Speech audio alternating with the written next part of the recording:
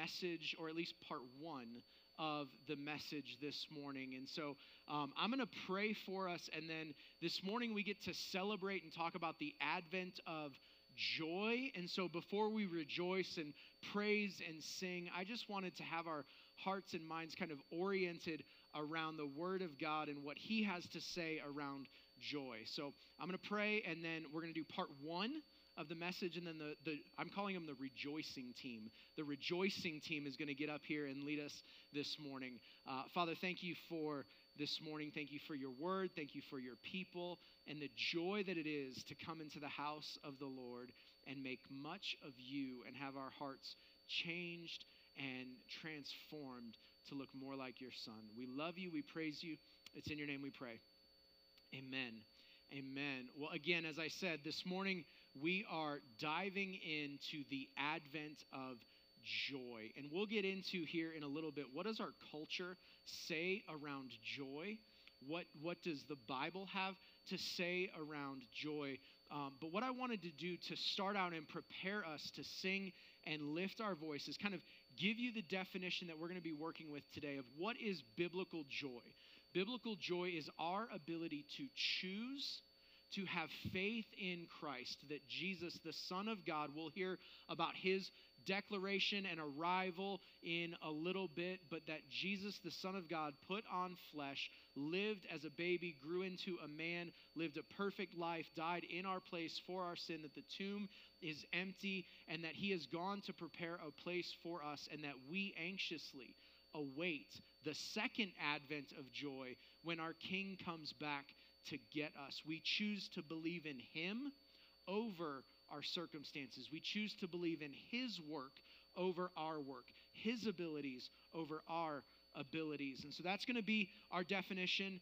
And what I want us to briefly look at as we unpack this, and, and again, like if you're newer with us, our typical rhythm is we teach through books of the Bible. We go kind of line by line, verse by verse, um, and, and just walk through and try to like wring out the scripture. This morning is going to be more of a systematic approach, a high level overview.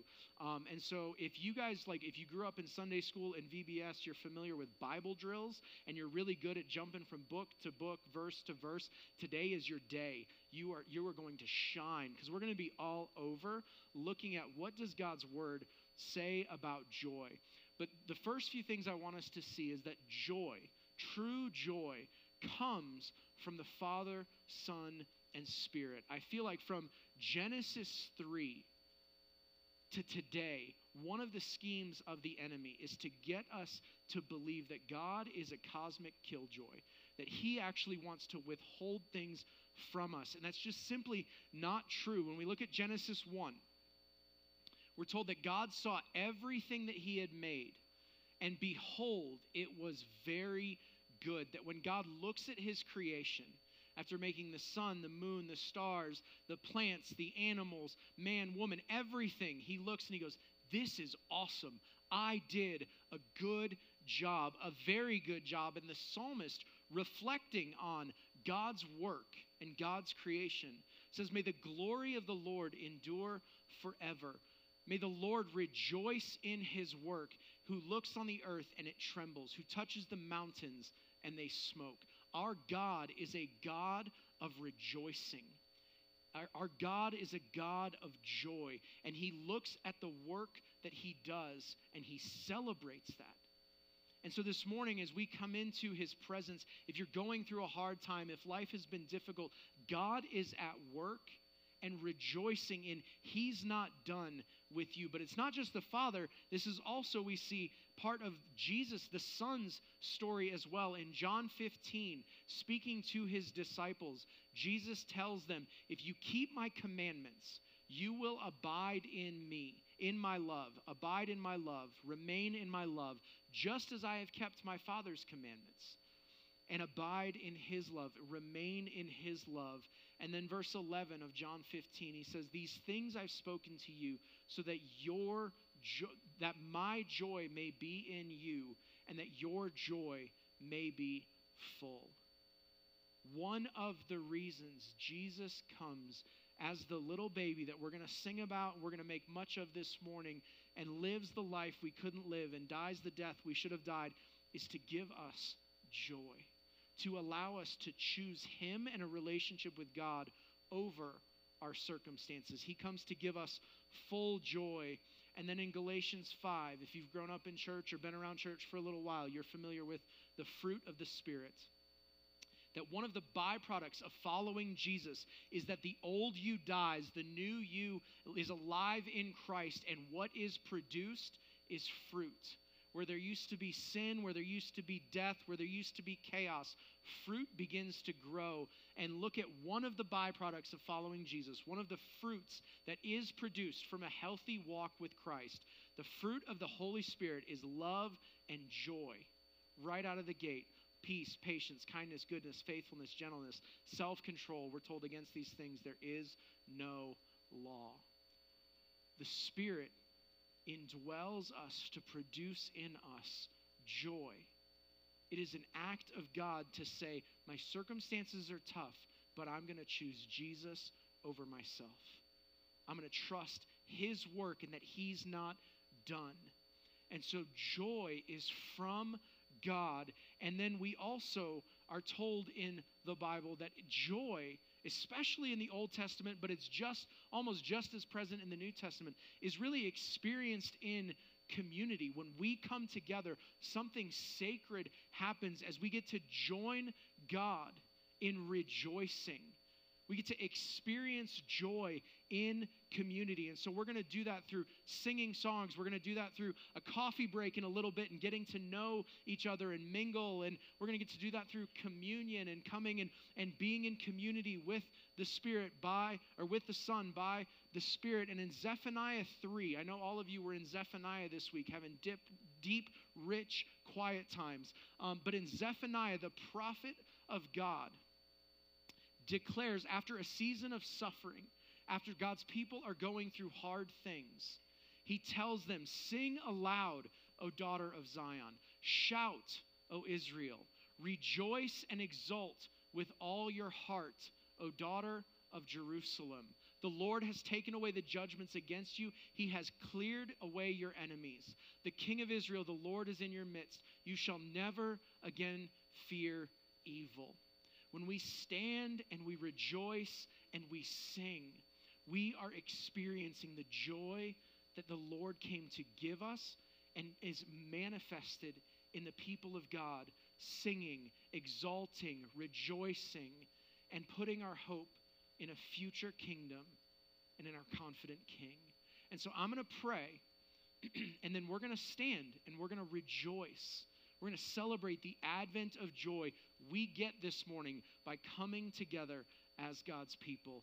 And so, Father, I thank you for the advent of joy that we get to choose this morning to celebrate, to follow, to make much of you and the work that you are doing pray that we would sing aloud. I pray that we would rejoice, that we would exalt, that this would not just be an act of obedience, but it would be a joy filled expression of the work that you're doing in us. And so, Father, would you be pleased? Would you be glorified? Would you be exalted? It's in your name we pray. Amen. I just want to take would a moment to, to, say that we're going to go through our joy Advent calendar. Uh, calendar. I did it in first service too. Advent candle today and just how beautiful it is that we're following the Advent wreath because it looks backwards towards what God has done and through Christ's sacrifice, and it looks forward to our His future coming, His second coming, and our future in eternity with Him, and how how those two things are acting at the same time.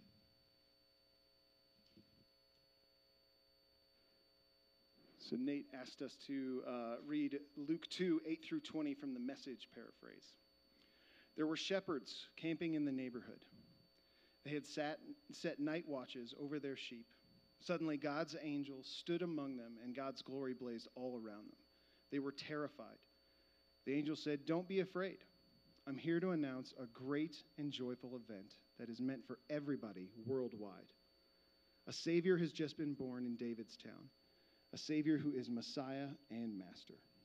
This is what you're to look for a baby wrapped in a blanket and lying in a manger.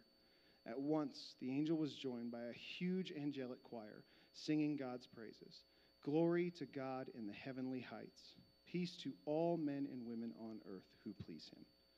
As the angel choir withdrew into heaven, the shepherds talked it over. Let's go over to Bethlehem as fast as we can and see for ourselves what God has revealed to us. They left running and found Mary and Joseph and the baby lying in a manger. Seeing was believing. They told everyone they met what the angels had said about this child, and all who heard the shepherds were impressed. Mary kept all these things to herself, holding them dear deep within herself. The shepherds returned and let loose, glorifying and praising God for everything they had heard and seen. It turned out exactly the way they'd been told. So, Nate asked us to share uh, something that we do in our home that exemplifies Jesus in this busy time. Um, and so, as I thought about this, I realized that well, we have four kids, nine and under, and um, we've kind of been doing a tradition without even thinking about it. But when our oldest was young, we started laying underneath the Christmas tree, and you know, with our heads just looking up at the lights, and um, we also would usually sing Silent Night as we did it. Um, so I wrote down my reflection on this moment, and I'd like to read it. With a very loud and busy house, I'm always amazed how the lights on the tree create awe and silence. So good. Each of us is taken back at the glow and beauty in that moment. We all know that our human nature is drawn to light.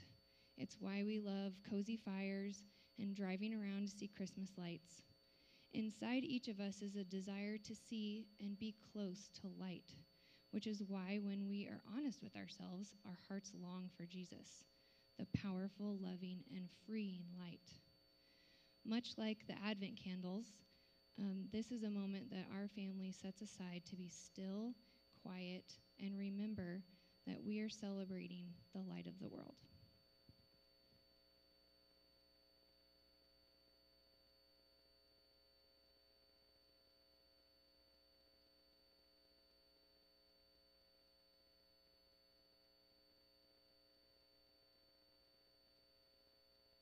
Almost feel like we could just like say amen, pray, and like be done. Um, but but I got notes, so um, so we're gonna keep going. But that was awesome. Thank you, stewards. Um, as I said at the beginning, uh, this morning is a little bit different. We're taking a systematic approach to to looking at joy, and I love uh, I love the way the message put some of what we just looked at. I'm just going to pull a couple of things out here, and then um, and then we're going to dive into looking at what is cultural joy versus biblical joy, and how can we leave here this morning with em- empowered really to have biblical joy. Uh, but I loved this phrase: "Seeing was believing."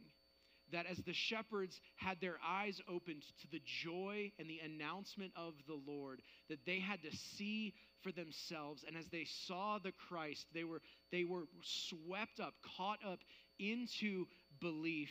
And then I really like how Eugene Peterson puts the shepherds returned and let loose, glorifying and praising God for everything they had heard and seen. That just there is something that happens in our soul when we experience the King of Kings and Lord of Lords. And one of the schemes of the enemy, one of the ploys that has been around forever and isn't going anywhere, is that culture is going to constantly try to combat our joy and get us to try to find joy, try to find fulfillment in someone or something else. And so, again, we've already looked a little bit at our definition of biblical joy. It is choosing to have faith in Christ above your circumstances, above your abilities, to say, Jesus, I'm going to believe and trust in you and your work more than what's going on around me. That's going to be our working definition this morning. But I also think it's helpful for us to define well, what, is, what does culture say? What does our world outside of these walls? What are we bombarded with over and over again? And, and I did a lot of deep dive research on what does culture say about joy. And by that, I mean I Googled things for a little bit. I did not spend a ton of time on this. But here's, here's what we know, here's what we see. Our culture, our world, uses joy and happiness synonymously. They treat them like it's the like we are inundated with joy is happiness and happiness is joy. It is the same thing. And biblically speaking, that's just simply not true. As followers of Christ, I want us to walk out this morning, if we know nothing else, that just because you're happy doesn't mean you're joyful, and you can have joy and not be happy. Those are not synonyms. And I went to a Times article uh, that I found online, and I would say Time Magazine, that's probably a pretty good uh, communicator of what does our culture think. They are not that they're right but they have a massive influence. I saw some of you go they're not good. I'm like i agree. But they have a widespread influence into how we think as a people. And according to an article that was literally titled how to have more joy or something like that these were some of the things that that time magazine said if you want more joy in your life here's what you should do first off Make happiness your goal. Ugh. Like, if your goal is happiness, all it takes is on the way home for those train tracks on the backside of our church right here, for those, those railroad uh, arm things to drop down, and you have to wait five extra minutes to get home and have lunch. For me to go a little bit long and take 10 extra minutes of your day for, for a flat tire, or like happiness fades so fast. And so, if our goal is happiness, we're in a world of hurt. But according to our culture, one of the ways for us to increase joy is we'll just, just make happiness your goal. So, if it makes you happy, go for it. Seems like that'd be problematic. Second, think happy thoughts. Now, the Bible will tell us that we are to take thoughts captive, that we are to renew our mind around the hope and person of Jesus. That is right, good, and true. But if you go home this afternoon and your kids are screaming and crying and somebody's bleeding and something's on fire and your wife is angry and losing her mind, it is not time for you to go to your chair and embrace your inner Bob Marley and just don't worry. Be happy. It's not just, oh, let me imagine myself on a beach with an umbrella drink when life is crumbling all around me. That's not going to bring us joy. To just think happy thoughts is fleeting and it will fade so fast and probably get something thrown at you. Third, and man, if this is not a lie that we just all fall into, and, and I'm looking like who's the youngest one in the room? Sophia maybe doesn't know it yet, but she will soon. Buying happiness, come on, that does not work. Like the best part of a new iPhone is just peeling the plastic off the iPhone, and then it's like old, and you're like, ugh, that was that was the best part. It's over now. It's like a used car. It's not any good anymore. Like, but but according to culture, if we want joy, we can just buy it. Buy what makes me happy. Buy that new car, buy that new phone, buy that new house, buy that new boat. If you buy the new boat, let me know. I'll come break it in with you when it's warm. Um, but happiness can be bought, and it's a lie. We all have closets and crawl spaces and basements full of stuff we thought would make us happy, and it simply hasn't worked. Yet culture continues to sell us this lie of, man, if you just get that new car, you'll be happy. And you will for a moment, and it will fade. And then the last one that I wanted to highlight before we return to what does the Bible have to say? And I love this phrase actually. I like simple phrases. I like catchy, easy to remember. And so there's a part of this phrase that like really pulls at my heart. Think less me and more we.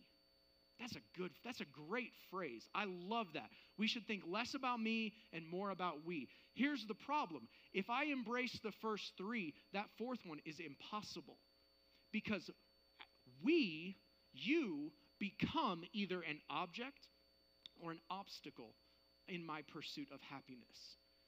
And if you get in the way of me making happiness my goal, I can't think about you. I need to steamroll over you because happiness is my goal. Or I turn you into an object of my happiness, and I'm just going to use you and dehumanize you. You no longer are an image bearer of God, you exist to make me happy. That's not we, that's me. This is impossible. A great phrase. I love it. But it can't happen if this is how we pursue joy. And this is what the world around us is constantly feeding us. This is what your neighbor, your coworker, your friends, the people at your gym, this is what we're chasing after and bombarded with all the time. And so it's imperative if we're going to have an advent, an arrival of joy in our stories this season, that we not only see the lies, but we see truth. And so quickly, we are going to walk through what does the Bible have to say about joy?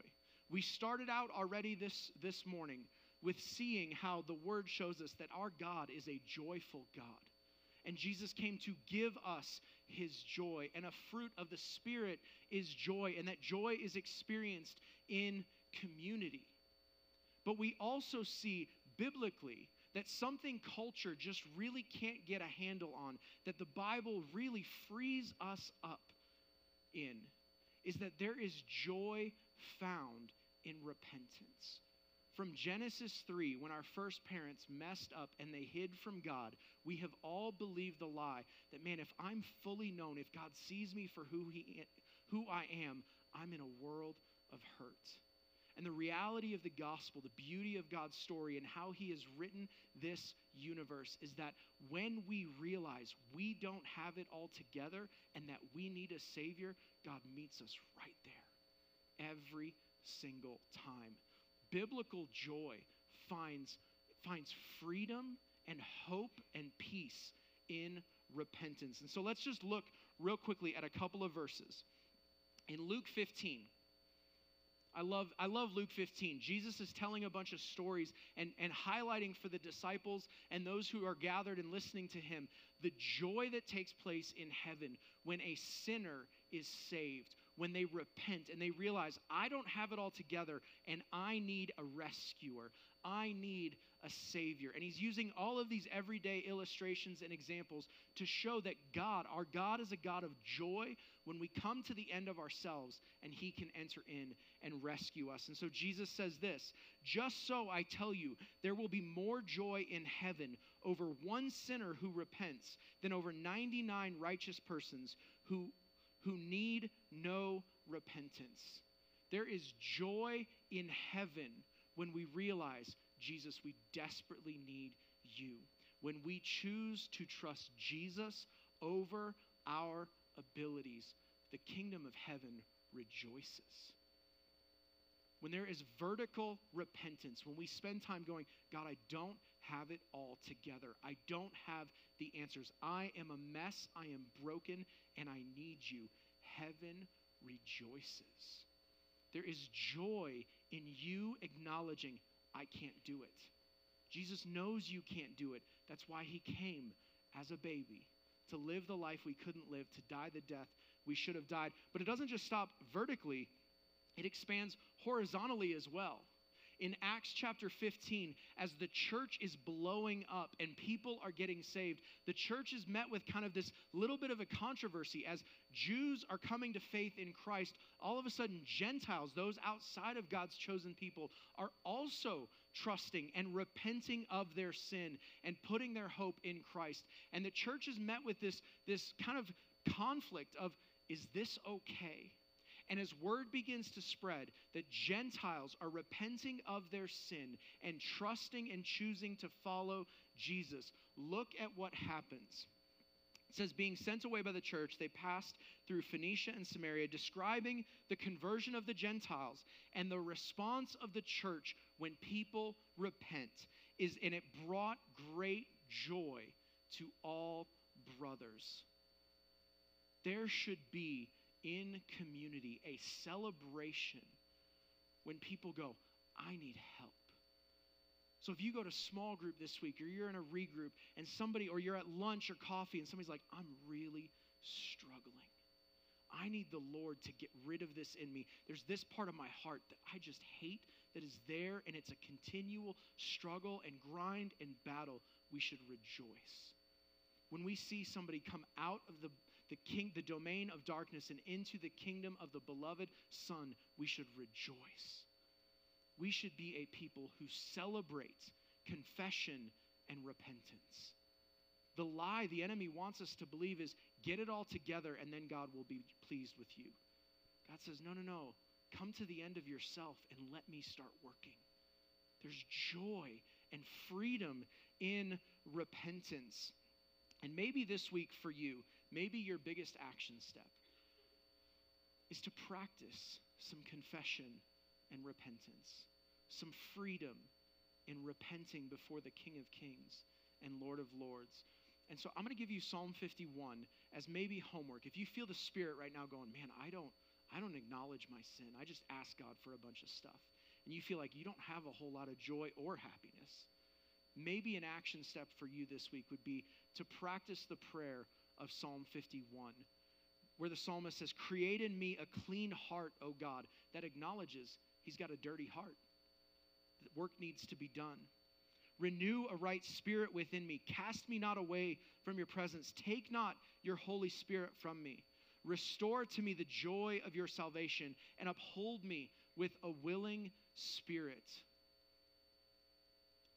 Maybe this week this needs to be your prayer. And watch as repentance leads to joy. You choosing to have faith in Jesus and his work over your circumstances and your ability. There is joy in repentance. There is also joy. Joy produces faithful work. Biblical joy is faithful, whereas happiness is fleeting. Again, if I go five minutes long, if you get a little hangry and the railroad tracks, uh, uh, a train goes by, your happiness is gone. And it could ruin easily the rest of your joy, but or the rest of your day. But as we go through trials and tribulation, the joy of the Lord actually gets more solid and secure as we recognize God, in this hard thing, you're doing something. Let's look at Acts 5. As the apostles have started sharing the gospel and making Jesus known, and they're creating a ruckus. I love that word. A ruckus. They get arrested and they get told, You can't share Jesus with anybody anymore. And after being let go, here is their response to suffering for the sake of the gospel.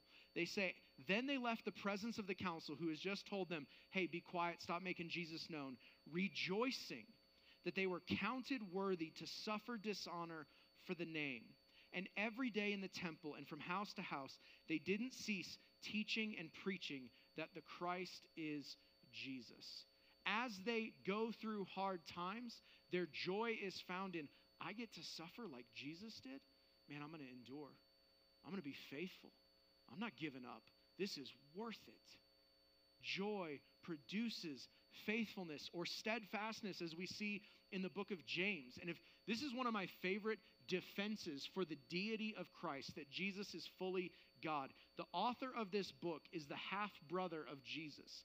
And if anybody could disqualify you from being God, it would be your family. You'd be like, I'm perfect. And your brother would be like, No, you're not. Do you know what you did to me in middle school?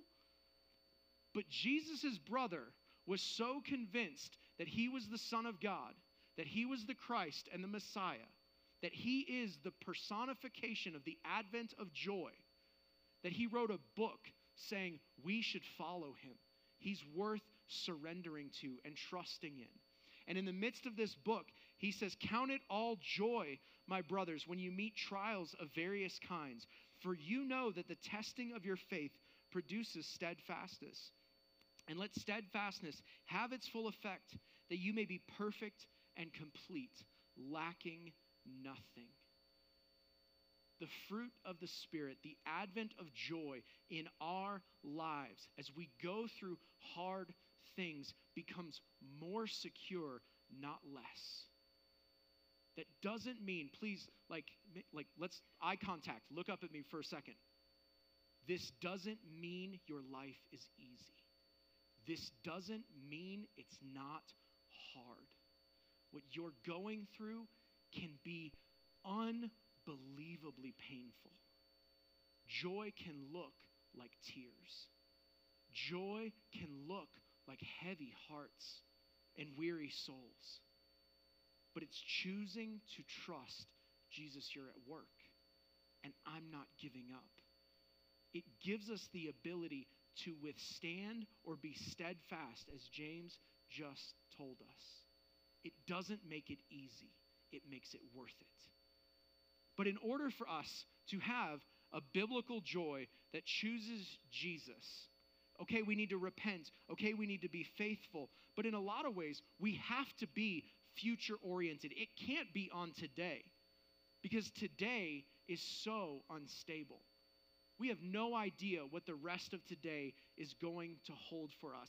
And so, for us to choose joy and choose Christ, we have to have a point fixed in the future that makes today worth it. Quick analogy that, that maybe would hopefully help. This August, my wife and I will be married 20 years. I know, I don't look old enough to be married 20 years. None of you thought that. That's hurtful. Um, but when we were when we were engaged and doing all of the wedding stuff we got married pretty quick. We were only engaged four months. We were doing all of the wedding planning stuff. I can remember at several points going can we just be done and go to the courthouse? Like it's so much work to have a wedding and try on a suit and invite dudes I don't even know to be my groomsmen to try to keep up with the amount of uh, uh, whatever the ladies' version of that is called. Um, and it just was like, ugh. But what got me through was I'm going to have a wedding and I'm going to get to be married. And that's going to be awesome. And so I kept my eye on the prize. It wasn't the grind of putting together CDs. That's how old we are. We had CDs of what we were going to play at our reception or picking out snacks and food or deciding what suit and colors and blech, all the things. But it was, we're going to be married and it's going to be awesome. I needed my eyes on a future date to make the day to day grind of creating a wedding worth it. And 20 years in, I'm like, the wedding was a thing, the marriage has been awesome. We need something as followers of Jesus to keep our eyes focused on. Luckily, we don't have to guess. The Lord in Revelation 19 gives us what we should keep our eyes on. In Revelation 19, John, the author of this book, gives us a picture for us to remain future oriented in our joy. He says, Then I heard what seemed to be the voice of a great multitude, like the roar of many waters, and like the sound of mighty peals of thunder, crying out, Hallelujah! For the Lord our God, the Almighty, reigns. Let us rejoice and exult and give him the glory. For the marriage of the Lamb has come, and his bride has made herself ready. It was granted to her to clothe herself with fine linen, bright and pure. For the fine linen is the righteous deeds of the saints. And the angel said to me, Write this Blessed are those who are invited to the marriage supper of the Lamb. And he said, These are the true words of God. Look at that last part in verse 9. Blessed are those who are invited to the marriage supper of the Lamb. For you and I, for followers of Christ, we are invited to a, a feast this gives us a future orientation, something to be hopeful for, that even when life is impossible today, we can choose joy. We can trust Christ because this day is coming. It allows us to be steadfast in our joy. And lastly, and if we were to jump back, all that the culture tells us we're to do buy happiness, think happiness, choose happiness, and just we, not me that's all on me to hold together. I have to have the money in my bank account to be able to buy the happiness that the world tells me I deserve. I have to have the ability to slow down and think the thoughts that are supposed to make me happy when life is crumbling.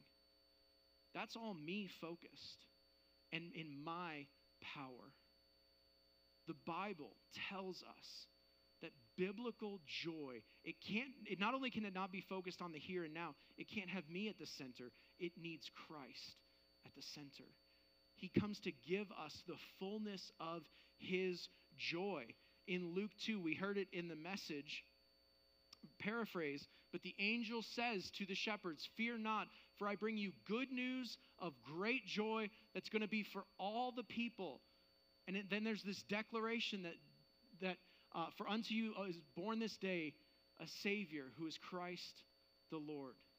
Jesus is the declaration of joy. Jesus is the person of joy. Our focus, if we're to have joy, is we need to choose Christ, have our eyes fixed on Christ. And so this morning, what I want us to do as we kind of wrap up and begin to prepare our hearts for communion, I want us to focus on Jesus. And I know this time of year, it's easy to like have our hearts drawn back to the manger, and that's beautiful, that's right, and that's good. But I actually want for us this morning to look at the next advent of joy, the next coming of Christ, and the picture of Jesus that we are going to see, that we get a glimpse of in Revelation 19. And this is one of my favorite passages in the New Testament. And I love this picture because it's so different than the version of Jesus I grew up. I grew up with like hippie, bolder, Sunday felt board Jesus who, you know, just truthfully wasn't kind of a guy worth following most of the time. This is the picture the Bible gives us of who we're to focus on in the person of Christ. John says, Then I saw heaven opened, and behold, a white horse. The one sitting on it is called faithful and true and in righteousness he judges and makes war. His eyes are like a flame of fire, and on his head are many diadems or crowns. He has a name written that no one knows but himself. I think that's so awesome that Jesus has like this super secret name that only he gets to know. That's how amazing this king is. He is clothed in a robe dipped in blood, and the name by which he is called is the Word of God. The armies of heaven, arrayed in fine linen, white and pure, were following him on white horses. From his mouth comes a sharp sword with which to strike down the nations, and he will rule them with a rod of iron. He will tread the winepress of the fury of the wrath of God the Almighty. On his robe and on his thigh, he has a name written King of Kings and Lord of Lords. This is a man worth focusing on. This is a God, this is a king who will in, help us endure through whatever you're going through today. And when we choose Him over our abilities and our circumstances, we find joy. This sounds like a very competent king, worthy of glorifying, worthy of praising, worthy of running towards. And again, please don't mishear me. We're not this huge mega church. Like, I can look around this room, there's hard things happening in our stories. For some of you, joy today looks like weeping. Joy today looks like heavy hearts that are choosing to say, Jesus, I'm not giving up, and you're teaching me something. And my hope is there's a marriage supper waiting for me, and I'm going to keep following the King of Kings and Lord of Lords. That doesn't make it easy, it makes it worth it. And so, as we prepare our hearts for communion, as the rejoicing team comes back up, I'm going to try to change our culture and we're going to start calling it that. These, this is what we've seen in God's Word. And next to each kind of like little point, I have maybe an action step. That here's what I'm going to do I'm going to trust the Holy Spirit in this moment as you prepare your hearts for communion.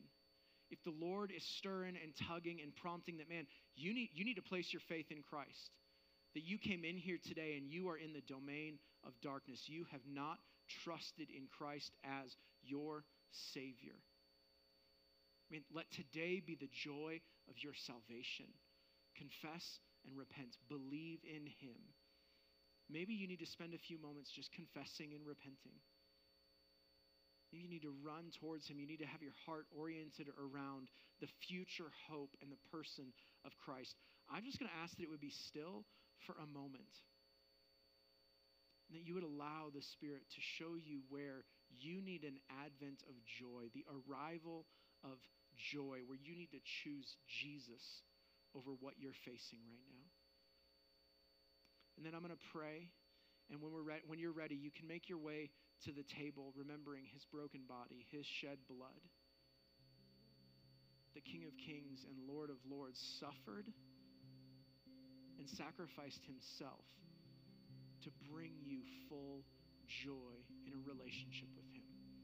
Let's take a moment and be still before the Lord before I pray.